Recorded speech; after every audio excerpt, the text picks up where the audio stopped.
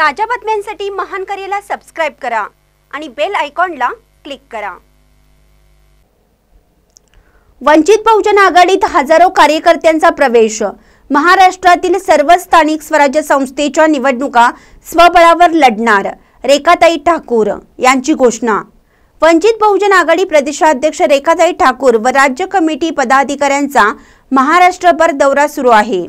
आज सांगली जिल्ह्यात वंचित बहुजन आघाडीचा संघटन समीक्षा व संवाद मेळावा आयोजित केला होता. प्रदेशाध्यक्ष रेखाताई ठाकूर यांनी या मेळाव्याला संबोधन केलं. रेखाताई ठाकूर म्हणाले येणाऱ्या काळात महाराष्ट्रातील स्थानिक स्वराज्य संस्थेच्या निवडणुका स्वबळावर लढणार असल्याची घोषणा केली. यावेळी ओबीसींच्या राजकीय आरक्षणावरून केंद्र व राज्य सरकारवर जोरदार टीका केली.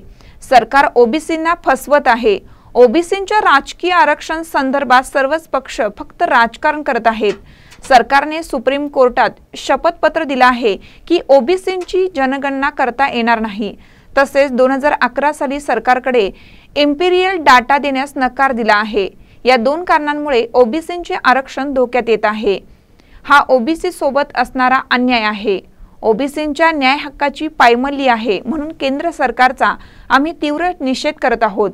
संवाद मेळाव्यात विविध पक्ष संघटनांच्या हजारो कार्यकर्त्यांनी वंचित बहुजन आघाडीत प्रवेश केला. वंचित बहुजन आघाडीत प्रवेश केलेल्या कार्यकर्त्यांची संख्या पाहता येणाऱ्या सांगली जिल्ह्याच्या राजकारणात प्रस्थापित पक्षांचा त्यांच्याच भाषेत त्यांचा करेक्ट कार्यक्रम होईल. येणाऱ्या काळात होणाऱ्या निवडणुका वंचित बहुजन आघाडीमुळे म्हणाव्या तशा सोप्या होणार नाहीत अशी चर्चा सर्वत्र होत आहे. महानकर न्यूजसाठी सांगलीहून आदी माने.